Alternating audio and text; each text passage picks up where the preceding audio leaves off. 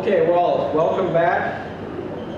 And uh, we have the, the afternoon panel as the thankless effort of after the meal and in the hot, for keeping you all awake here. So we'll do our best to keep things rolling and uh, moving. So, hello?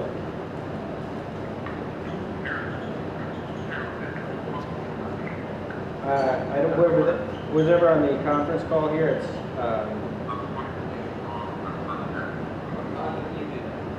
yeah.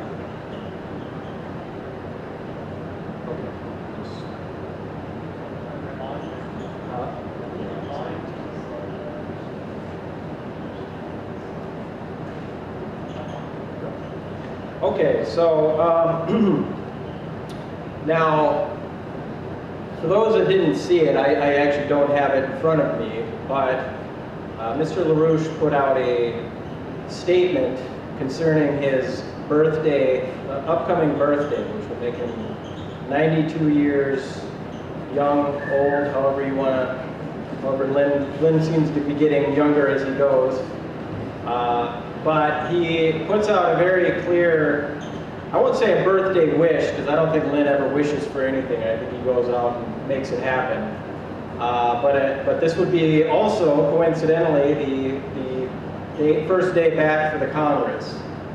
And a very good day to have Boehner gone and Obama removed so that we can get on to business. And I, you know, I think what Phil went through was very sobering on uh, Lynn's view on this question of tragedy.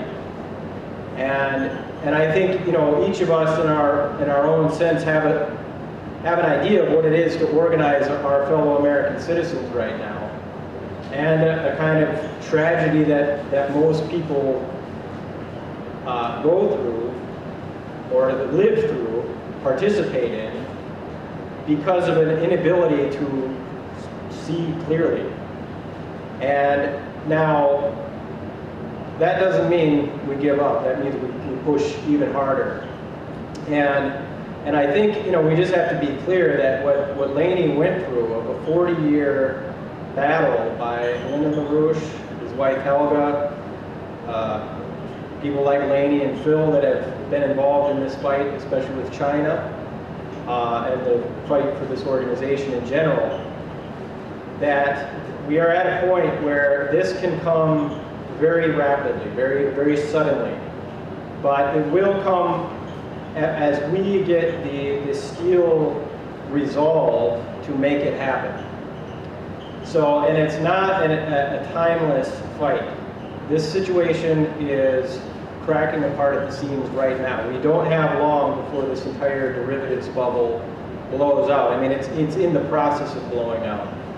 And what people think of as value is going to, it, it, actually doesn't have any value now, but it will soon be that such on your bank statements, on your stock portfolio statements, on your gold bars that people think they have that represents value, and on your uh, housing price values. All those values are about to go through the floor because there's nothing behind it. And what I would like to get into with this presentation, which I'd like to present something on the question of value.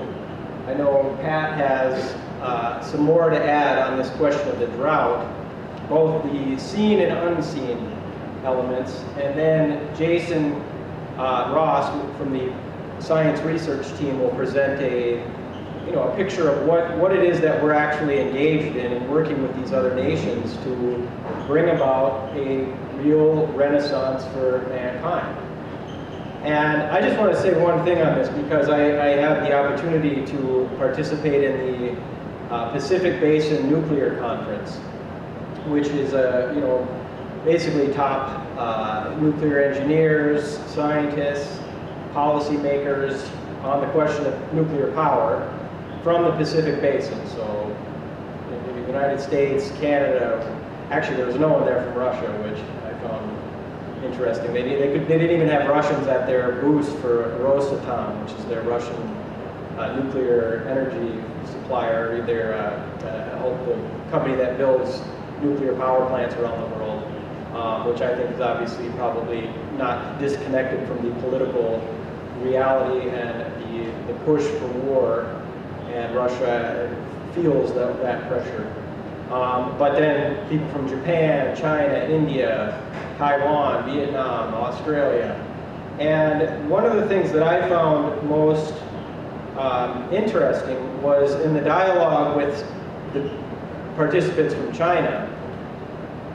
You know, there's a way where we can kind of romanticize what they're doing, or maybe not romanticize, but we want to give it a certain, uh, a certain gravity of what it represents, a certain power, and you know uh, that, it, that it is a profound thing that they are that they're up to. But for many of them, it was sort of interesting. The younger ones, it was, hey, this is what we know. This is the culture that we've grown up with. Somebody who's 20 years old or you know in their 20s is a nuclear uh, physics um, student has a sense that their life has been in a upward trajectory. And, and it was kind of like, well, what else would you do? and for those in their 40s, 40s, early 50s, they had sort of known that China had made a, a, a transition, but and they had a, a kind of a, a, more, it was like, yes, we're doing this again, but what else would we do? But we, we have to do more because our people are, we're not out of the woods by any stretch of the imagination, what the Chinese, what they were saying. It was we have more people to pull out of poverty. We have more to do. And it, and it somewhat struck me that they're in the middle of this, and for them, it's, yeah, but we also have more to do. And, and I think, you know, what Phil brought up as the, the can't-do spirit, we do have to pull out in our fellow Americans the residual that does lie, however beat down and buried it may be, especially with the last 14 years of fascism, uh, we have to pull that out of them. Now, what I'd like to do is just present uh, something on the question of value, because uh, Mr. LaRouche has recently called for a, an international series of conferences to discuss the notion of value. And I want to read what he responded um, in some discussions uh, a few weeks back when he was asked on this. He says, on the question of these international conferences to discuss value, he said, if you are not dealing with China's thermonuclear capabilities, you're dead meat. Because only in what China represents so far, China actually is collecting a source of thermonuclear power which is not available at this time to any other part of the planet Earth. And therefore, China's dominant role in terms of its thermonuclear capabilities is the leading force throughout the entire planet Earth right now. Now, there are other things that are relevant to that which are brought into play because of it. Once we get into cooperation with China on this moon project, the China Moon Project is the future of mankind. And it's only to the extent that we mobilize ourselves behind that, and then look to other inferior means which can be mixed with the international thermonuclear capabilities, to mix these capabilities and their applications and sort them out for the world as a whole. We're not going to do anything for thieves in the United States. To hell with them. So he goes on to discuss this as a, as a science driver uh, program, and and then comes back to the question of the four laws, and in particular this notion of real value, uh, the so-called productive powers of, of labor. It says, we must eliminate all of what we are used to as cheap labor and the practice of cheap labor in the United States. We must cancel all cheap labor programs. The only condition on which we can modify that policy is to say we're going to quickly do something to turn what is now cheap labor, non-productive labor, and to turn it as rapidly as possible into productive labor of a high energy flux density. If we don't do that, we're finished. If you do not follow my program, in short, you're finished. all those who, who are advocating lower energy den flux densities, lower productivities, they are your enemies. They are the people who are poisoning you. They are the people who are killing you. They are killing your children just by doing that. This means that you need all kinds of health care also. Because without the health care programs, with what goes with them, you cannot produce a highly productive situation. But all we need is to unite a group of nations on Earth together today with China and others who are cooperators on this thing to make things happen that increase the energy flux density of man's productive powers of labor. And anyone who's trying to do something to make it a little cheaper, to make it simpler, should in a sense be taken into a little room and talked to for a while.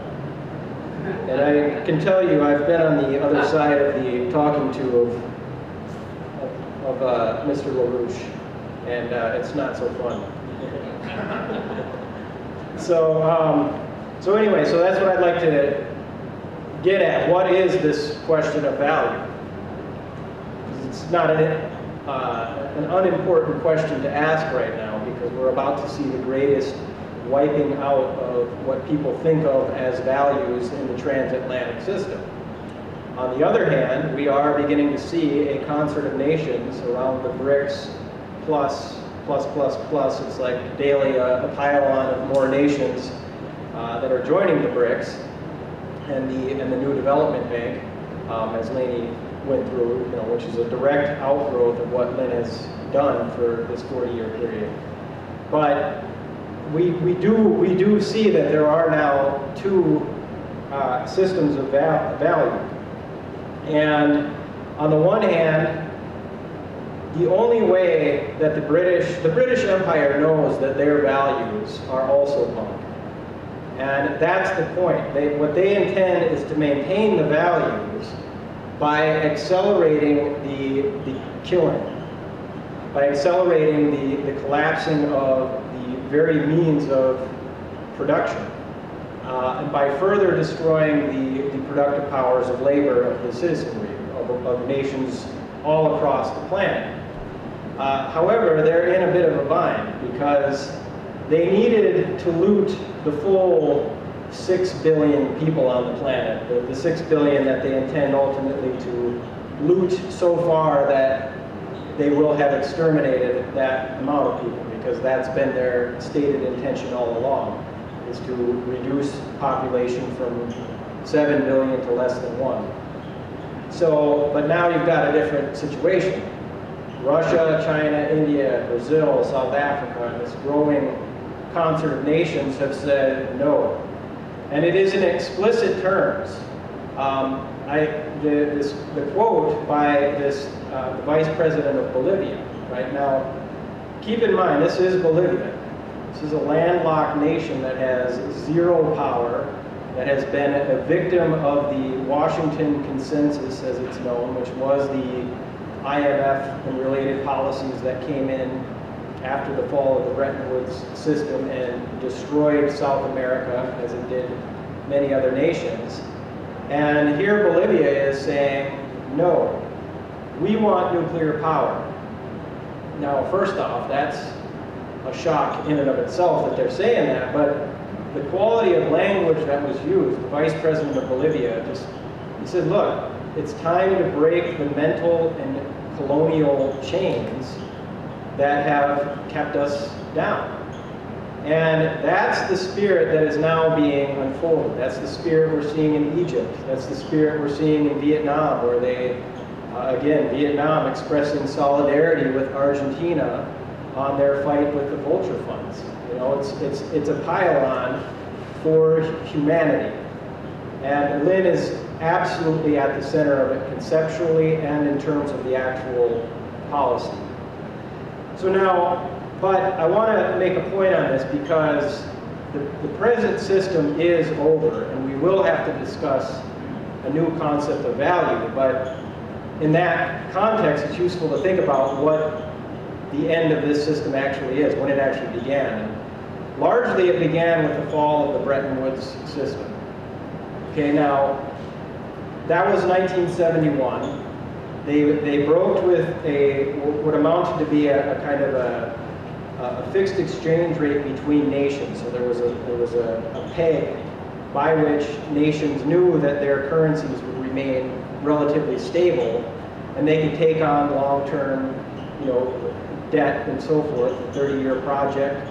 They could finance that and know that their payment schedules would remain stable. But when in 71, when the fixed exchange rate was broken, then you had the ability for currency speculators to move in. Now, at the same time, what happened to the US dollar was what was known as the, the petrodollar, right? Where international transactions in oil were now denominated in, in dollars.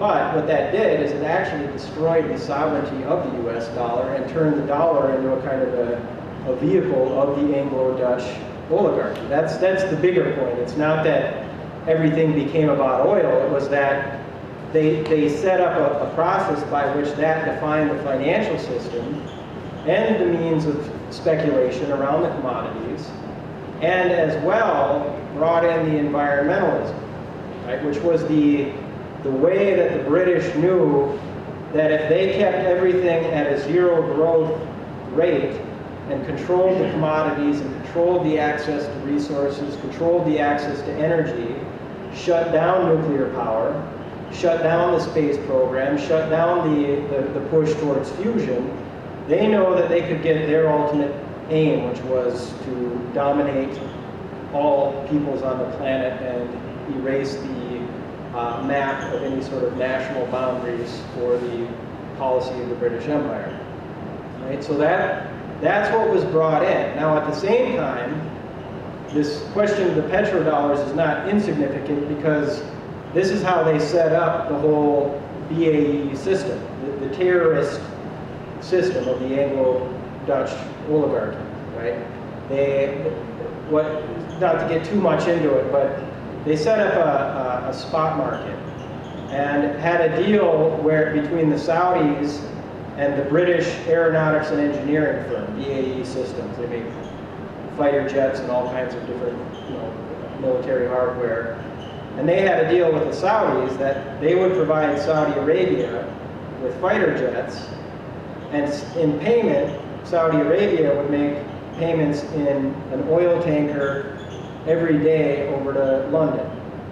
Now, BAE Systems was not really like a defense company per se. It was more of a, an imperial operation, and they had people from British Petroleum, Royal Dutch Shell, board members that would then take the price of the oil tanker coming over, speculate on the price of that oil, drive up the prices, and create a untraceable cash flow that then was deposited into an account. So then the next day, another oil tanker, more cash. Next day, another oil tanker, more cash, more cash that no one knew about. And by some estimates, people think that this got as high as 100 billion. Some people think it goes into the trillions of dollars that was used to finance all kinds of dirty operations, all kinds of terrorist operations. Osama bin Laden, 9-11 uh, was financed with this kind of money.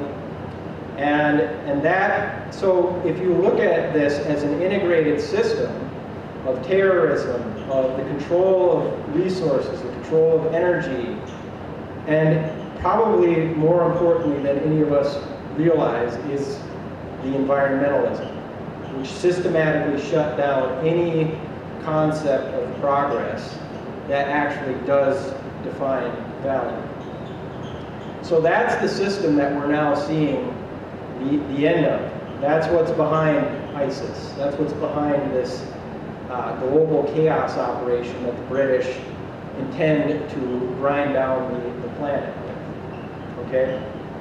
So now that, that whole thing, that whole system really came in with a whole wave of assassinations, and I won't go too much into it, but we know the names. We know the important names here of John F. Kennedy, his brother Robert. You know, if you think of the 70s, that, or I'm sorry, the 60s that led up into the 1971 with the, the breakdown of the Bretton Woods system, the breakdown of any sort of equitable system amongst nations.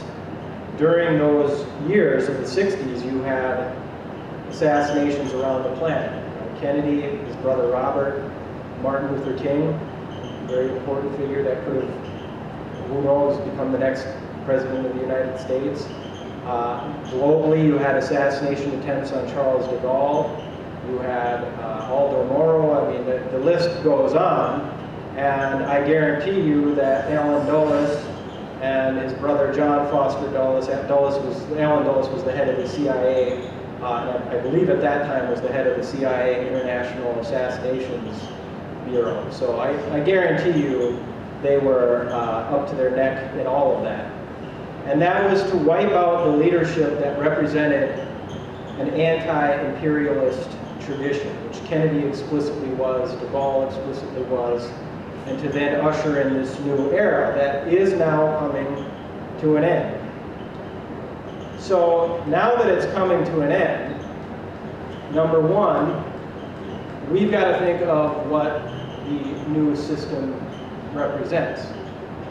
Now, and on that note, discuss what a system of value is.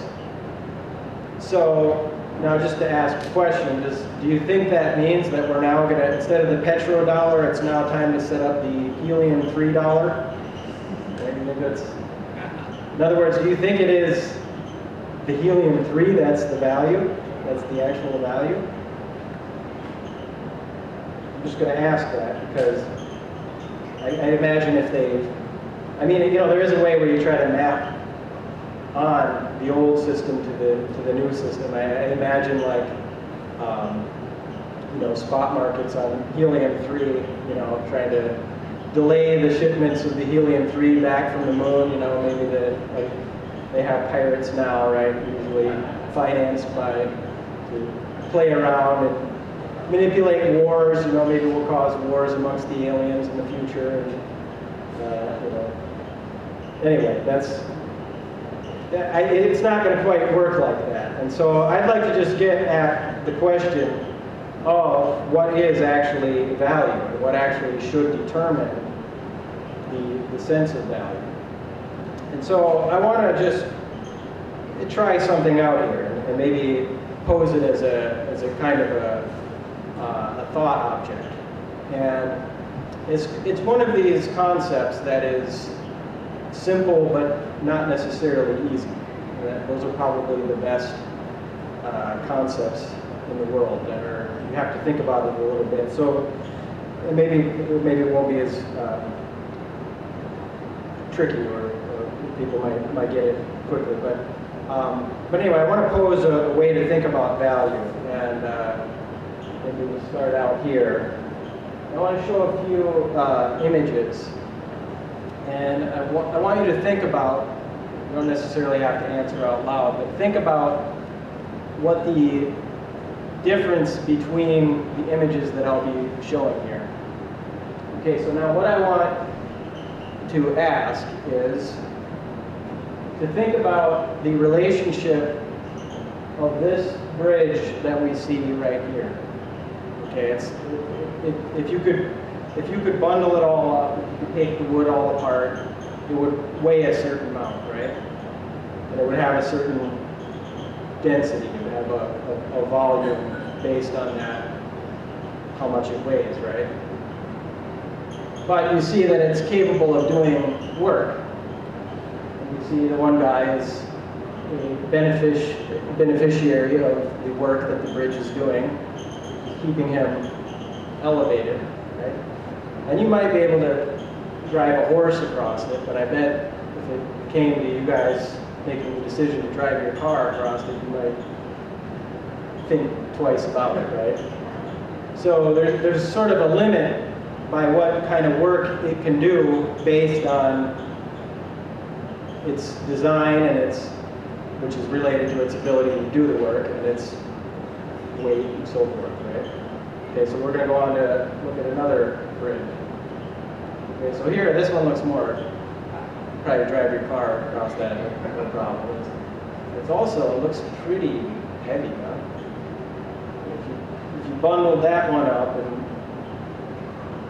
had its weight, it would be, probably be a lot more dense per unit of weight than the other bridge, because wood is more porous, more airy versus metal, very, very dense, right? So this one, per unit of weight and density, could probably do a lot more work than the other one, right? Okay, so now keep this one in mind. It's also very heavy. So let's go on to the next one here. Okay, now this one is almost two and a half miles long. It's somewhere in Japan, uh, the Honshu, the, some island in Japan. And I would bet most of us would think back to the one we just saw, the metal bridge. And if we tried to build a metal bridge like that last one, as long as two and a half miles, you might get into some questions of whether it could actually even be done. The kind of weight that it would even have upon its own self.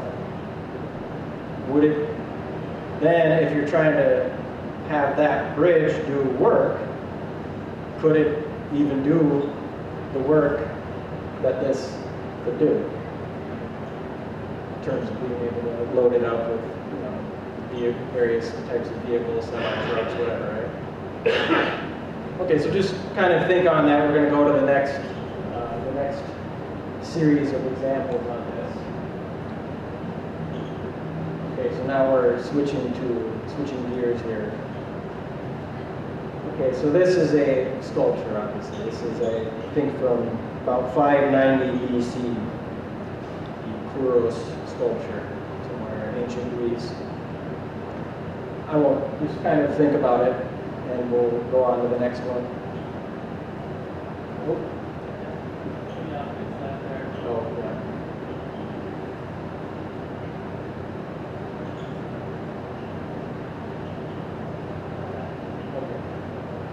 Okay, so why don't you go, just, all right, just kind of take a look at this one. And then we're gonna go jump back to the other one. Okay, so you notice the difference. And now, now we have to kind of think about work a little bit differently. Because these are about the same stone, you know, it's gonna be the same weight, probably about the same size, you know. But now there's a different quality of work that's being done. So jump forward. So that see. And then this, so this is from uh, 450 BC, about uh, you know 150 years later than the other one. And now we go to the next one. Okay, so again, still stone, probably about the same size, same density, but if you look at the amount of work that's being done, because you all could look at this thing and immediately get gripped by trying to figure out all, all of what is happening here. There's far more happening, there's, there's more uh, motion, more its ability to communicate and do more per unit of mass is even more profound, right? So, so anyway, so what I want to just, just to sort of continue the concept, because I think as well, if you begin to just sort of think along these lines, you could look at music in the same way.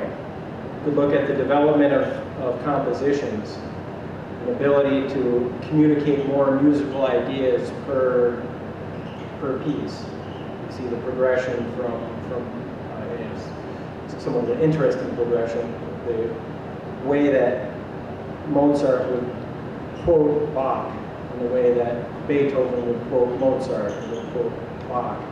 and you see there's a certain development, an ability to do more.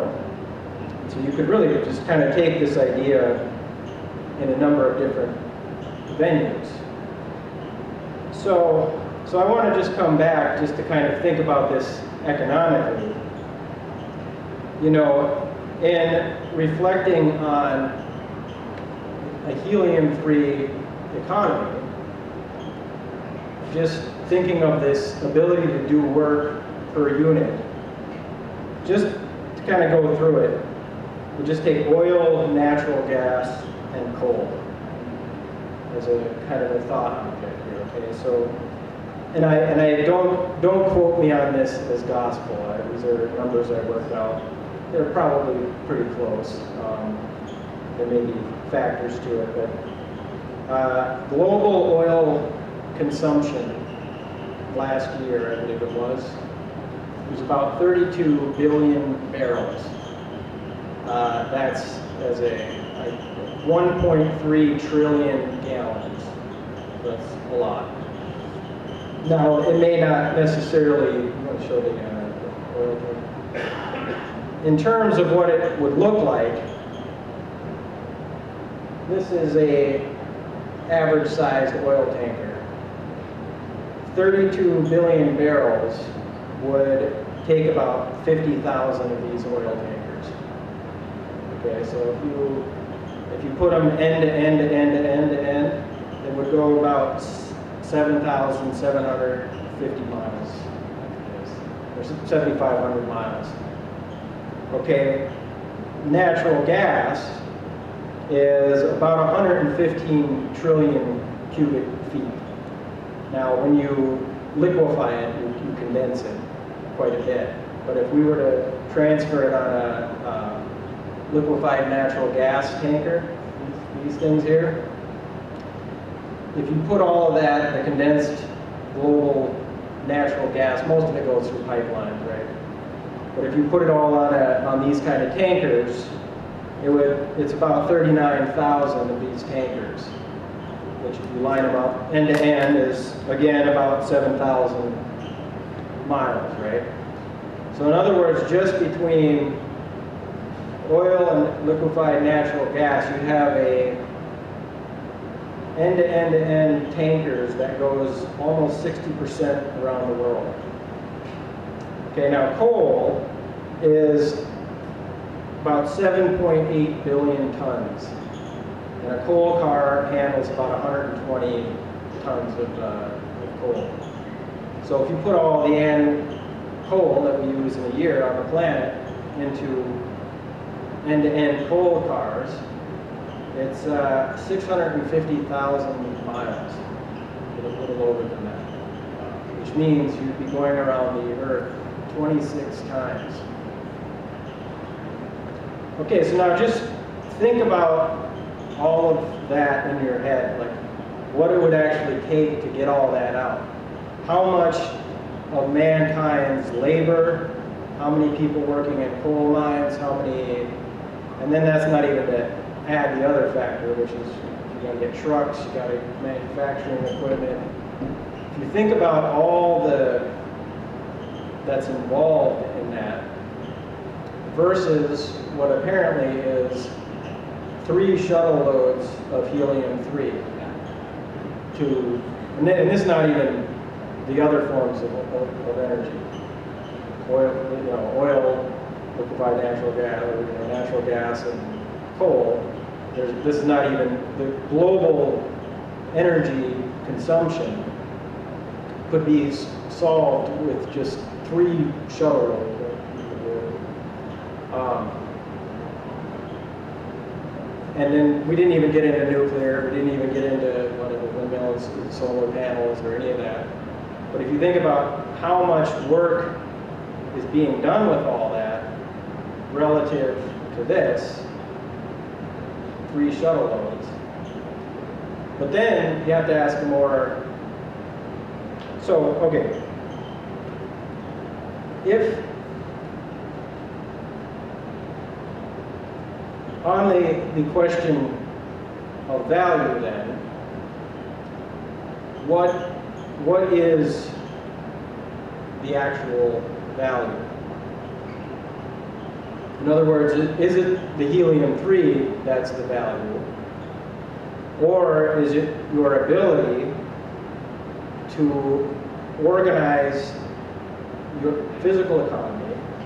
And, you know, if you just think about this, how much of, to get three shuttle loads of, of helium-3, how much of your economy is now directly defined around using your mind? Right? The engineering, the machining, the, the science that goes into it.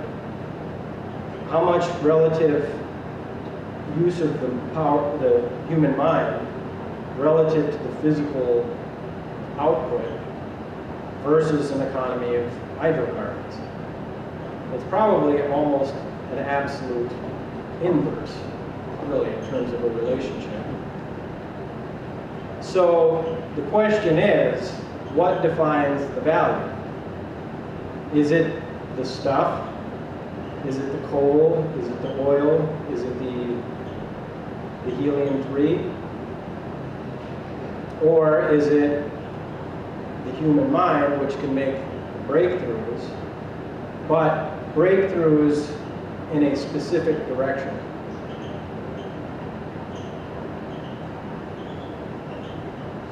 Right? So, so anyway, I, I just wanted to throw that out as that I don't think value is, lies in the things in and of themselves. Value actually lies in the process of transformation of your society. And as this progression shows, the ability to do more work with less is actually a principle of the universe. It's really the principle of least action. Leibniz was probably the first one that Laney referred to, uh, Gottfried Leibniz was probably the first one to really identify it as such. And that, that principle, I would actually say, is the value in an economy. And your ability to progress according to that principle is actually a moral and spiritual issue. Because what do you have to do? You have to make the future better. You have to, you have to improve your capabilities. You have to improve your scientific capabilities. You have to apply those uh, creative breakthroughs to new technologies to actually enhance the future of your society. And that's both what makes people happy, but it's also what gives people a sense of participation in the future. And, you know, I think that's what we're beginning to see right now with this unfolding uh, development. I can guarantee you that the people of Egypt, as they're buying in to the, to the bonds and the debt certificates, whatever you want to call them, to finance their own future development, and as they're calling on the youth of their country to come out and build this, and as they're doing this in a context where the British Empire is trying to unfurl chaos around them, that what they're doing as per that commitment to the future is the only way that we can ever solve any of these things. It's the only way you're going to recruit people out of terrorist death cults and these kind of things. And it's the only way that you can bring a nation together. So I think I'm just going to leave it at that. Um, but I think that at least gets to this question of the productive powers of labor. It's, it's not what your labor is doing at any one moment. It's what the power of creativity acting through the labor is, is doing, and that has a direction to it. So, so anyway, we can probably have more of a discussion at the end. Um, and we'll open it up for Pat here. Pat has been working with Mr. LaRouche for a long time, 40 years. Six or seven hundred. And uh, Pat,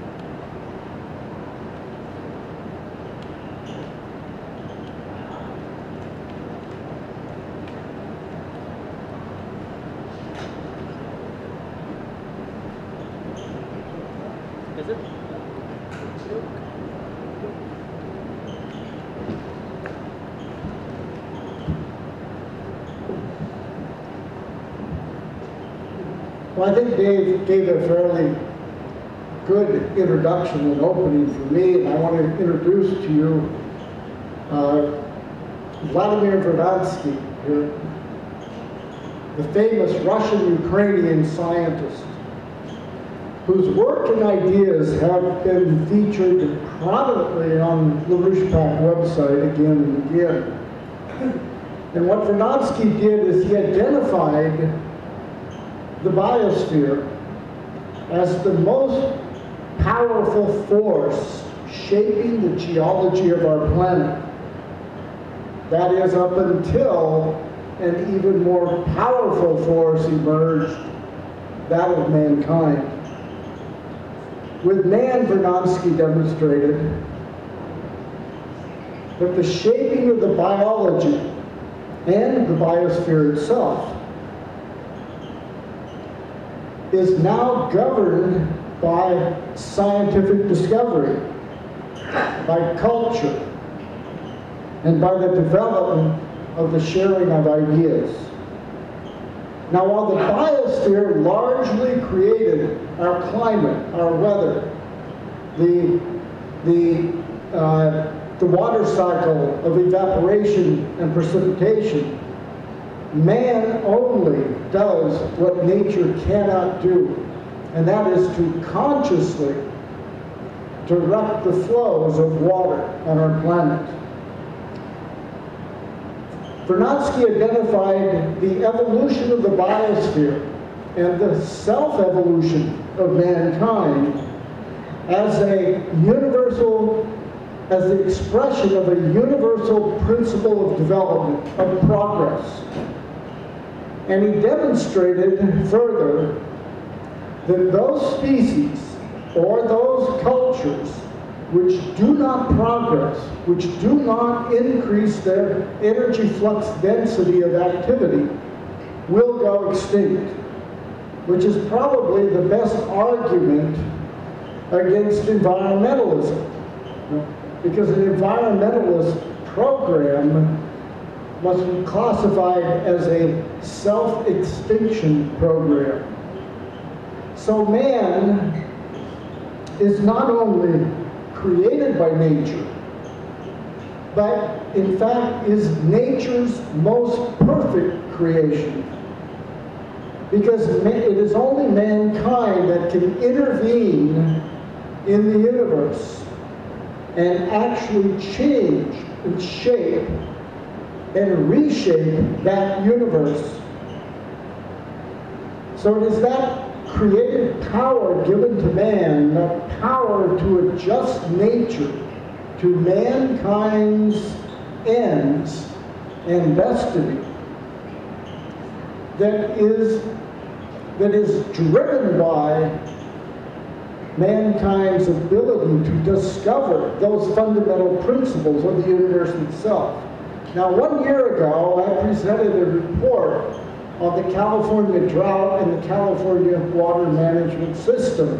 And in that report, I forecast that by this summer, California would be in the worst drought in its history. And of course, that's where we are now. So I want to go through exactly what we are facing. Now, as Dave mentioned, it might have been mentioned earlier by Phil, LaRouche yesterday said, this is a serious situation and people should take this seriously. But it's also tragic. It's tragic from the standpoint that we have not done what we should have been doing. So the tragedy is brought on, brought on by our own free will, our own free choice.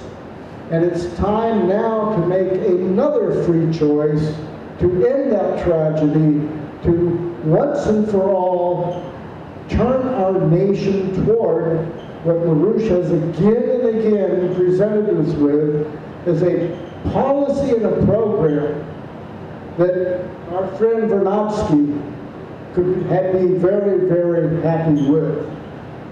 So here's, here's a graphic picture of the progress of the growing intensity of the California drought. And this is just in the last year.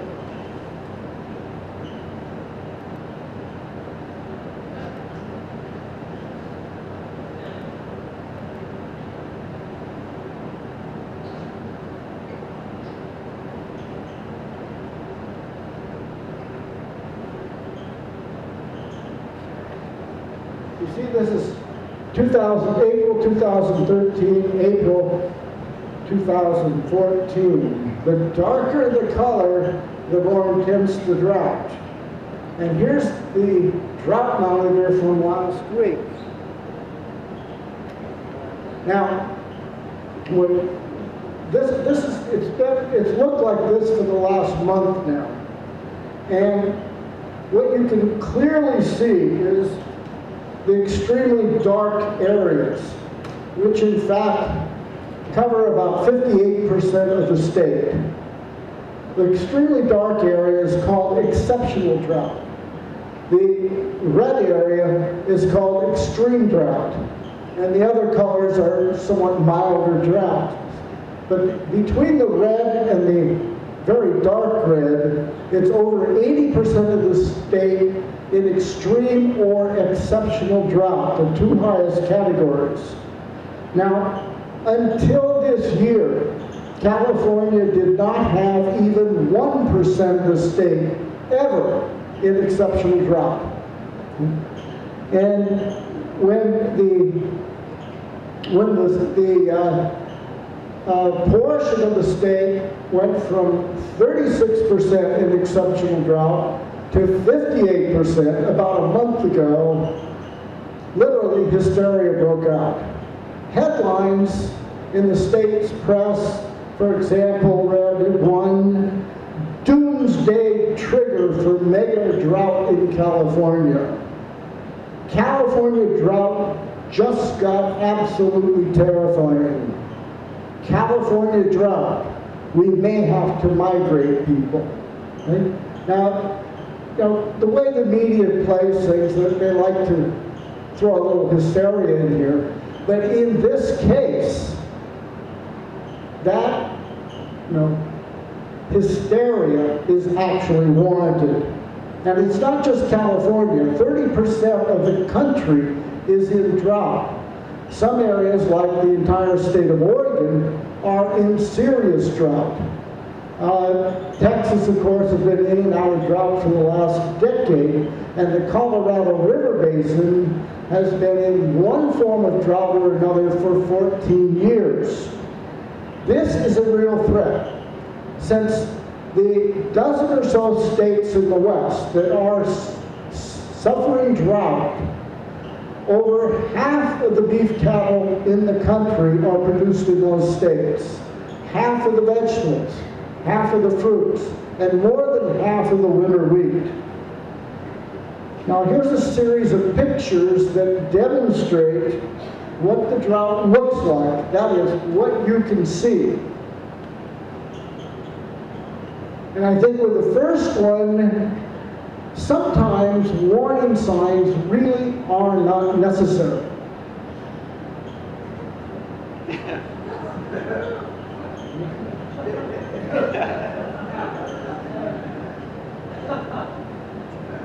now, on the other hand, sometimes they may not, they seem not to be necessary, but I'm sure you've always, all, all have met someone who may not pay attention to this sign.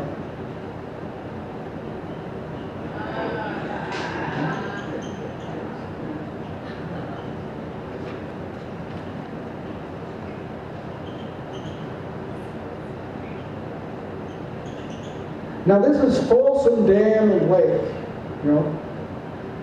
A picture taken three years ago and a picture taken this summer.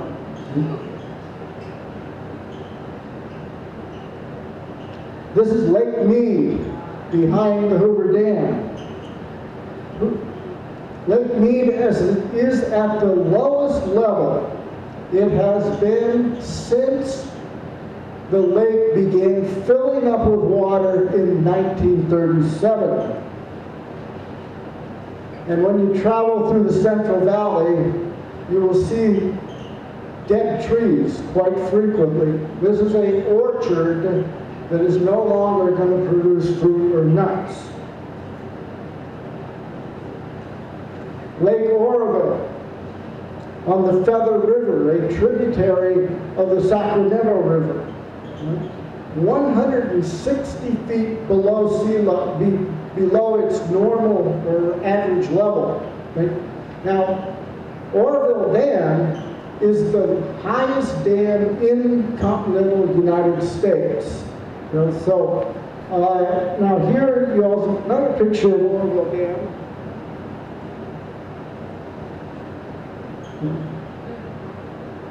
2011 and 2014, I mean, Lake Oroville. Now today there's 38 million people in California. The state is in officially the third year of drought.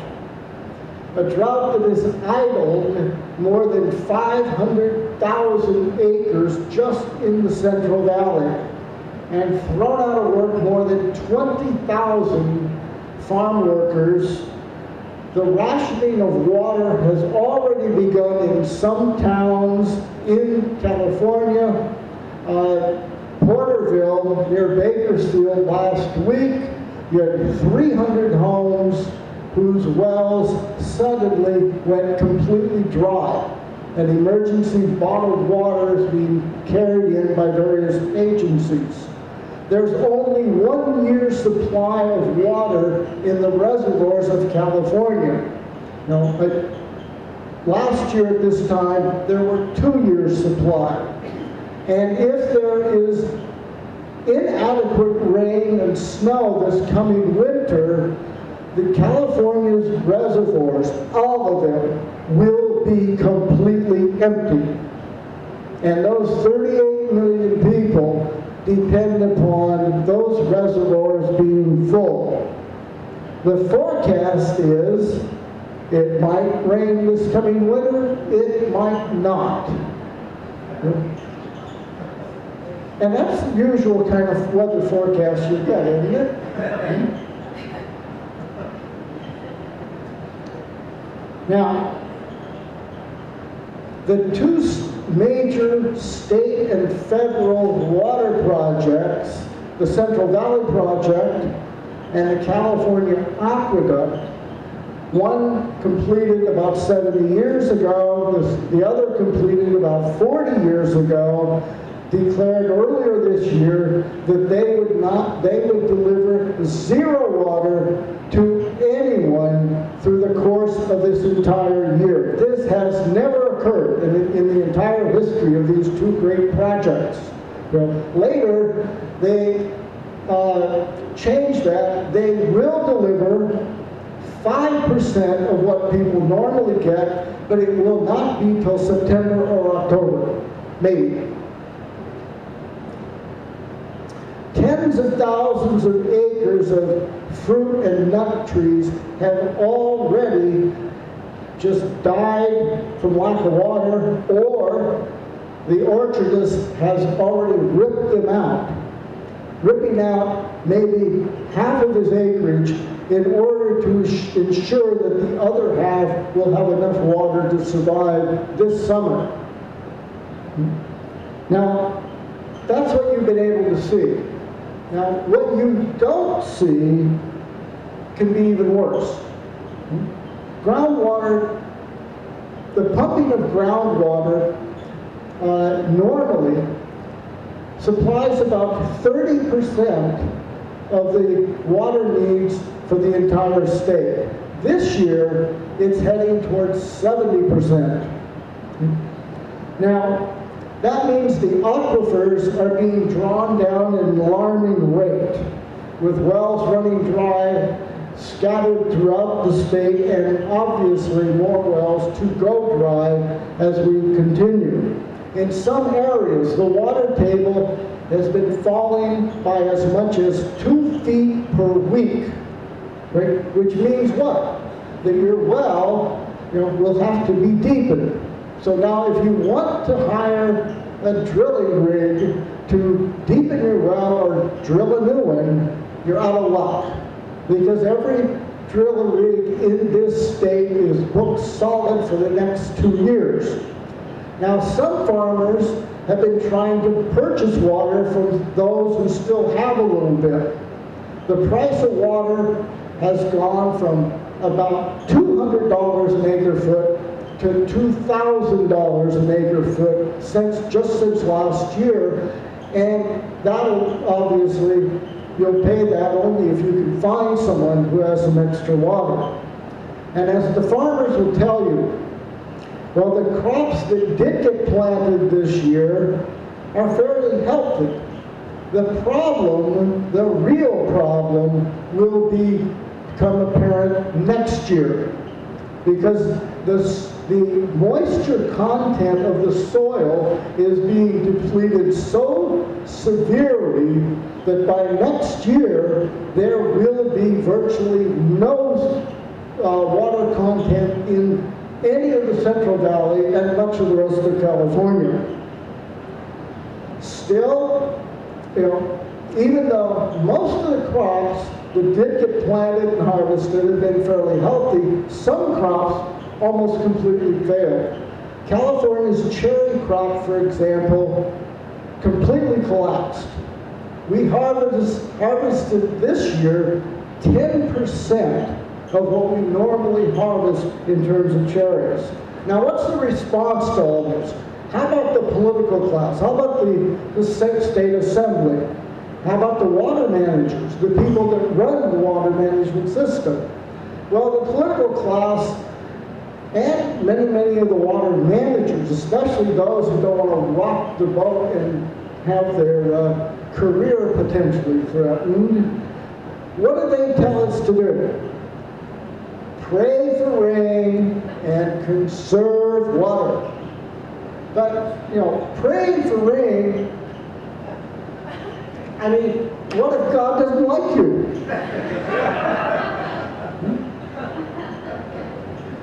and how in the hell are you going to conserve water if it isn't there? Hmm? Now, a lot of the Republicans, especially in the Central Valley, are saying what we have to do is build more dams and more reservoirs to be able to capture the rain when it does come again. But of course, that's assuming it's going to come again. Right? Because if we look over, look at the climate for the Southwest, especially California, over the last 2,000 years, what do we see? That most of that 2,000 years has been characterized by one mega drought after another. Droughts lasting 10, 20, 50, even 100 years. Hmm? And they would be interspersed with something just as bad, which is huge mega storms and mega floods. You know, for example, the last real mega flood in California was 1861, and the entire Central Valley was under 10 feet of water for months. You know, the city of Sacramento was under 20 feet of water for several months. That's 1861. And that was not the biggest mega flood. So, as we look at you know, the future here, what is the forecast? Well, if you look at the last 100 to 150 years, as part of this 2,000 year period, what do we find? That this 100, 150 years has been the wettest and most mild climate of that entire 2,000 year period history. And what we may be entering is back to the normal climate of this region, which is one mega drought after another. A new study released this week, which uh, I don't have too much respect for because it's really an argument uh, promoting the idea of man-caused global warming, but it does make the point that we may be entering a mega drought and we may just be in the third year of a 10 or 20 or 50 year drought right now. And what would that mean? Well, take a picture in your mind of the, the Dust Bowl of the 1930s. Right? Have that in your mind. Uh, and that was like four years in some areas, eight years in another. You know, no rain, and the soil, the topsoil just blew away. Well, we're already threatened with dust storms in the Central Valley right? because the soil is so dried out. So the question is, you know, what would our friend Vernadsky do? Hmm? Well, he would do what we used to do. That is simply that. And a little more, but I want to deal with what we used to do first. We used to take the existing water cycle, which is driven by the sun, and accelerate it, creating water management systems. That is, we would build canals and dams and reservoirs, pipelines, you know, and that was, and you put it all together and it's called a water management system. What man does is he increases the water flux density of a generally diffuse resource, water. Very diffuse, but it is not, it, you know, it's not a rare element. It's everywhere. Two-thirds of the earth is covered with oceans. What man does is, is apply his creative power to actually move water to where it is needed. And why do we need to do that? Because nature doesn't put it where mankind needs it, and we have to give nature a little hand. Right? That's, that's our intervention. Now, and environmentalists may protest that that's not natural. You know? Well, look at it. Beavers build dams, just like mankind. Which one's not natural? Hmm? In the 1930s, Franklin D. Roosevelt built the Tennessee Valley Authority.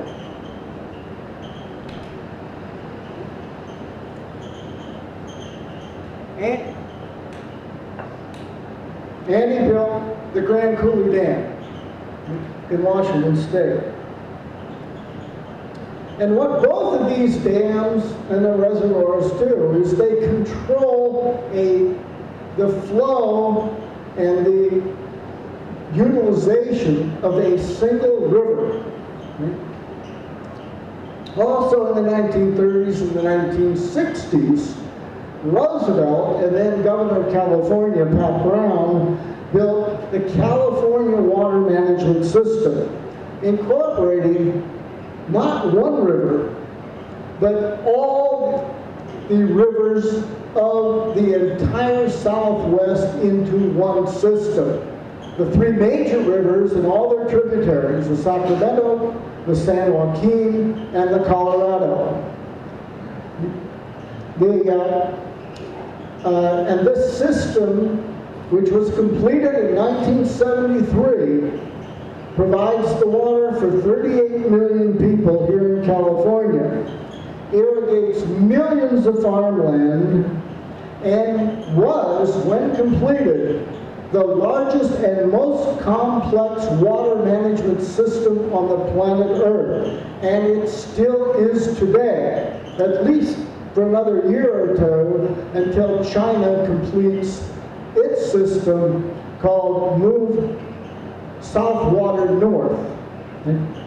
Now, the reason this drought has been so destructive right now is that because in 1973, when we completed the California Water Management System, we stopped building anything. There have been nothing, there has been nothing built in water management in this state for over 40 years. Now, here's the California water management system. I'm not going to go through it, just say that the, uh, the Central Valley Project and the California Water Project both begin up north of Sacramento, up high in the Sierras, and move water down into the Bay Delta, and the, and the, the uh, uh, Central Valley Project delivers water to the entire Central Valley. The California Aqueduct delivers water both to the Central Valley and to Southern California. And in fact, if you have a picture in your mind of the Rose Bowl, what it looks like, how big it is, that the California State Water Aqueduct fills the Rose Bowl every two hours. That's how much water is coming from Northern California down here. Now, when the California uh, water management system was nearing completion, those who would think ahead thought, what do we do next? And the proposal was the North American Water and Power Alliance, which I think most of you are familiar with, so I'm not going to go through it. But, uh, you know, that would have been a continental man water management system. So we go from one river to an entire region's river systems to a continental water management system. That was the idea. That's the Vernadskian idea. But now we understand that we're going to have to think much bigger than merely a small, a mere continental water management system. Because we have to think on the scale of the solar system. Since processes in the solar system, like solar activity, are, the, are what has the most dramatic effect on the climate and on the weather here on Earth. And we cannot assume that the precipitation patterns that exist way up in the far northwest, Alaska and British Columbia, those patterns today will be what they would be 20, 30 years from now, because when we look through the historical record, we see dramatic changes in climate and weather caused by the solar cycle, by a, by a uh, solar system or galactic effects that are then made apparent here on Earth. And these dramatic climate changes will occur in the future. So it's possible that 20 years from now, when the Nawapa will be completed, the water up north might not be as available as it is right now. And, and you know, man, there are some things that mankind does not understand fully. And sometimes those areas we do not understand are more important than the ones we already do. And climate is clearly one of those. Because, I mean, think about it. The weatherman on your local TV station will give you a forecast of three, five, maybe 10 days, and, up, and go, any, go any further than that, and he's going to be wrong. Right? We cannot forecast the weather, you know, 10 days into the future very accurately. And so where in the hell do these people talk about man-caused global warming get away with forecasting the weather 50 years from now. Hmm? Now the current drought is so urgent, we must do something now. And that something is to finally carry out what President John Kennedy had already put in motion. First was. Right? And the other was a massive building of a nuclear-driven desalination program for especially California, Texas, but also the rest of the country. And Kennedy created that program in 1963. And in 1964, even after he had been assassinated, the Metropolitan Water District of Southern California, which manages all water for, from Ventura all the way to San Diego, but the, the uh, Metropolitan Water District signed a contract with the Atomic Energy Commission to begin building the first plant of nuclear powered desalination, which would have been completed and pumping a river of water into Los Angeles in 1970. 44 years ago, the first one would have been completed. But that, you know, so what do we need today? Well, we need about a hundred of these nuclear-powered desalination plants just on the California coast. But that's only just a beginning. Think what the effect would have on the entire economy, on our entire culture, as you put millions of people to work building nuclear-powered desalination plants, the canals, the storage reservoirs required to, to move and, and, and handle the water. That would be a revolution in itself. Now here is the Carlsbad desalination plant now under construction just north of San Diego. This plant will produce 53 million gallons of water a day when completed in a little bit over a year from now. And, and some of you may be thinking, wow, 53 million gallons of water a day. You know, that's a lot of water. Well, 53 million gallons a day makes up about 7% of San Diego's daily consumption. right? So one gas-powered desalination plant is not really going to solve any problems. And it, the, uh, but nuclear desalination, you know, that's the first Vernadskian solution, but it's not enough.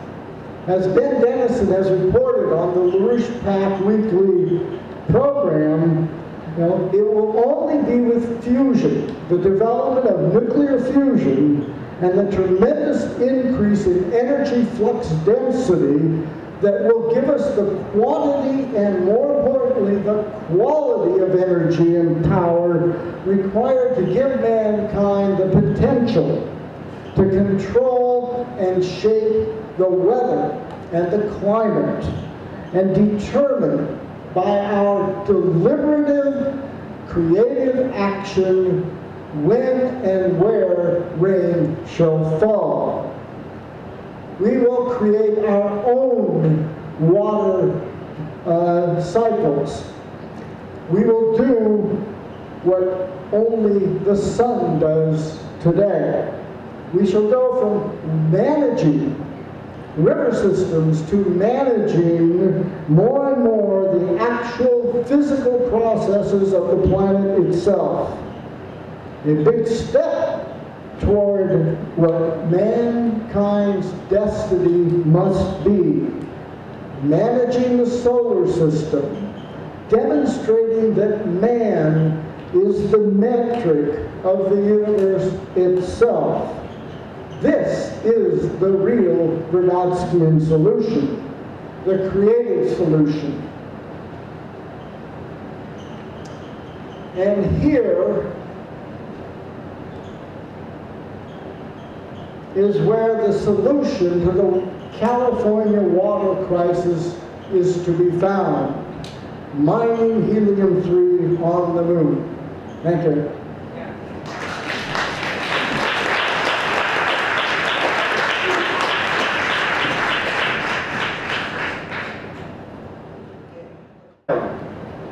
And on the one hand, the only way that the British, the British Empire knows that their values are also punk. And that's the point. They, what they intend is to maintain the values by accelerating the the killing, by accelerating the, the collapsing of the very means of production, uh, and by further destroying the, the productive powers of labor of the citizenry of, of nations all across the planet. Uh, however, they're in a bit of a bind because they needed to loot the full 6 billion people on the planet, the, the 6 billion that they intend ultimately to loot so far that they will have exterminated that amount of people because that's been their stated intention all along, is to reduce population from 7 million to less than 1. So, but now you've got a different situation. Russia, China, India, Brazil, South Africa, this growing concert of nations have said no. And it is in explicit terms. Um, I, the, this, the quote by this uh, vice president of Bolivia, right now, keep in mind, this is Bolivia. This is a landlocked nation that has zero power, that has been a victim of the Washington Consensus, as it's known, which was the IMF and related policies that came in after the fall of the Bretton Woods system and destroyed South America, as it did many other nations. And here Bolivia is saying, no, we want nuclear power. Now, first off, that's a shock in and of itself that they're saying that, but the quality of language that was used, the vice president of Bolivia just, he said, look, it's time to break the mental and colonial chains that have kept us down. And that's the spirit that is now being unfolded. That's the spirit we're seeing in Egypt. That's the spirit we're seeing in Vietnam, where they, uh, again, Vietnam expressing solidarity with Argentina on their fight with the vulture funds. You know, it's, it's, it's a pile-on for humanity. And Lyn is absolutely at the center of it conceptually and in terms of the actual policy.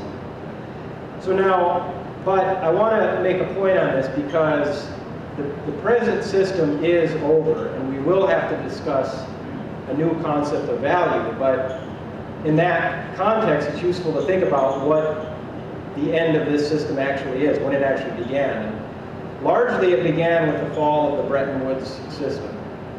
Okay, now,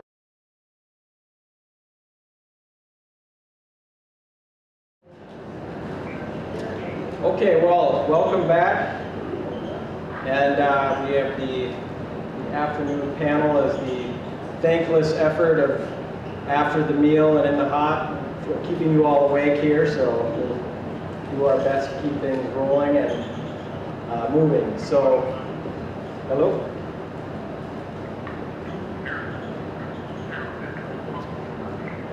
Uh, I don't, whoever, was ever on the conference call here, it's um, Yeah.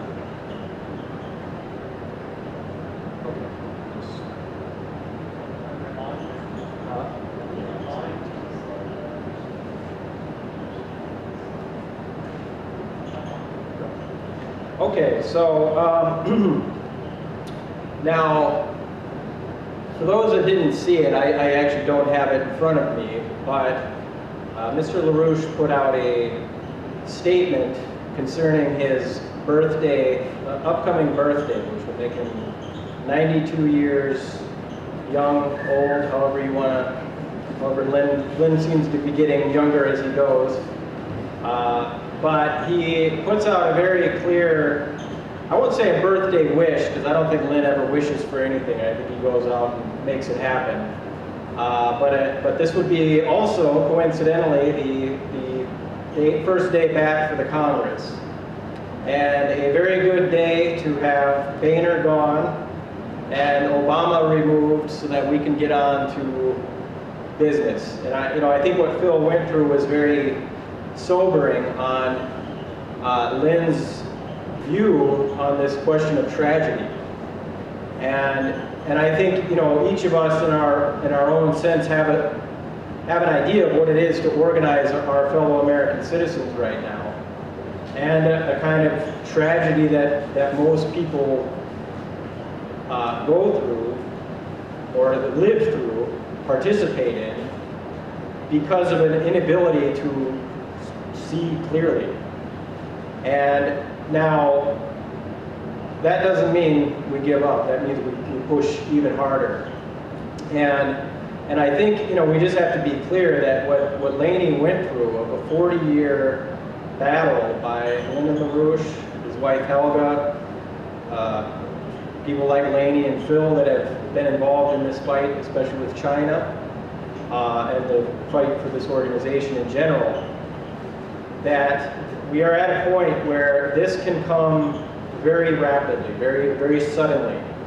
But it will come as we get the, the steel resolve to make it happen. So, and it's not an, a, a timeless fight. This situation is cracking apart at the seams right now. We don't have long before this entire derivatives bubble blows out. I mean, it's, it's in the process of blowing out. And what people think of as value is going to, it, it, actually doesn't have any value now, but it will soon be that such on your bank statements, on your stock portfolio statements, on your gold bars that people think they have that represents value, and on your uh, housing price values. All those values are about to go through the floor because there's nothing behind it. And what I would like to get into with this presentation, which I'd like to present something on the question of value. I know Pat has uh, some more to add on this question of the drought, both the seen and unseen elements, and then Jason uh, Ross from the science research team will present a you know, a picture of what, what it is that we're actually engaged in and working with these other nations to bring about a real renaissance for mankind. And I just want to say one thing on this because I, I have the opportunity to participate in the uh, Pacific Basin Nuclear Conference, which is a, you know, basically top uh, nuclear engineers, scientists, policymakers on the question of nuclear power from the Pacific Basin. So the United States, Canada, actually there was no one there from Russia, which I found interesting. They, they, could, they didn't even have Russians at their booth for Rosatom, which is their Russian uh, nuclear energy supplier, their uh, uh, company that builds nuclear power plants around the world, um, which I think is obviously probably not disconnected from the political reality and the, the push for war and Russia feels that, that pressure. Um, but then people from Japan, China, India, Taiwan, Vietnam, Australia. And one of the things that I found most um, interesting was in the dialogue with the participants from China. You know, there's a way where we can kind of romanticize what they're doing, or maybe not romanticize, but we want to give it a certain uh, a certain gravity of what it represents, a certain power, and you know uh, that, it, that it is a profound thing that they are that they're up to. But for many of them, it was sort of interesting. The younger ones, it was we're not going to do anything for thieves in the United States. To hell with them.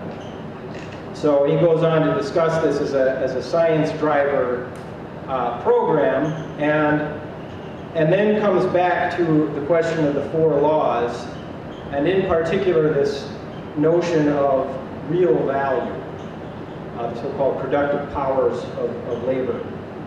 It says, we must eliminate all of what we are used to as cheap labor and the practice of cheap labor in the United States. We must cancel all cheap labor programs. The only condition on which we can modify that policy is to say we're going to quickly do something to turn what is now cheap labor, non-productive labor, and to turn it as rapidly as possible into productive labor of a high energy flux density. If we don't do that, we're finished. If you do not follow my program, in short, you're finished. All those who, who are advocating lower energy flux densities, lower productivities, they are your enemies. They are the people who are poisoning you. They are the people who are killing you. They are killing your children just by doing that. This means that you need all kinds of health care also, because without the health care programs, with what goes with them, you cannot produce a highly productive situation. But all we need is to unite a group of nations on earth together today with China and others who are cooperators on this thing to make things happen that increase the energy flux density of man's productive powers of labor. And anyone who's trying to do something to make it a little cheaper, to make it simpler, should in a sense be taken into a little room and talked to for a while. And I can tell you, I've been on the other side of the talking to of, of, of uh, Mr. LaRouche, and uh, it's not so fun. so, um, so anyway, so that's what I'd like to get at. What is this question of value? It's not an, uh, an unimportant question to ask right now because we're about to see the greatest wiping out of what people think of as values in the transatlantic system. On the other hand, we are beginning to see a concert of nations around the BRICS plus, plus, plus, plus. It's like daily uh, a pile-on of more nations uh, that are joining the BRICS and the, and the new development bank, um, as Laney went through, you know, which is a direct outgrowth of what Lyn has done for this 40-year period. But we, we, do, we do see that there are now two uh, systems of balance. Hey, this is what we know. This is the culture that we've grown up with. Somebody who's 20 years old or you know in their 20s is a nuclear uh, physics um, student has a sense that their life has been in a upward trajectory. And, and it was kind of like, well, what else would you do? and for those in their 40s, 40s, early 50s, they had sort of known that China had made a, a, a transition, but, and they had a, a kind of a, a more, it was like, yes, we're doing this, again, but what else would we do? But we, we have to do more because our people are, we're not out of the woods by any stretch of the imagination, is what the Chinese, what they were saying. It was, we have more people to pull out of poverty. We have more to do. And it, and it somewhat struck me that they're in the middle of this, and for them, it's, yeah, but we also have more to do. And, and I think, you know, what Phil brought up as the, the can't-do spirit, we do have to pull out in our fellow Americans the residual that does lie, however beat down and buried it may be, especially with the last 14 years of fascism, uh, we have to pull that out of them. Now, what I'd like to do is just present uh, something on the question of value, because uh, Mr. LaRouche has recently called for a, an international series of conferences to discuss the notion of value. And I want to read what he responded um, in some discussions a, a few weeks back when he was asked on this. He says, on the question of these international conferences to discuss value, he said, if you are not dealing with China's thermonuclear capabilities, you're dead meat because only in what China represents so far, China actually is collecting a source of thermonuclear power which is not available at this time to any other part of the planet Earth. And therefore, China's dominant role in terms of its thermonuclear capabilities is the leading force throughout the entire planet Earth right now. Now, there are other things that are relevant to that which are brought into play because of it. Once we get into cooperation with China on this moon project, the China Moon Project is the future of mankind. And it's only to the extent that we mobilize ourselves behind that, and then look to other inferior means which can be mixed with the international thermonuclear capabilities, to mix these capabilities and their applications and sort them out for the world as a whole.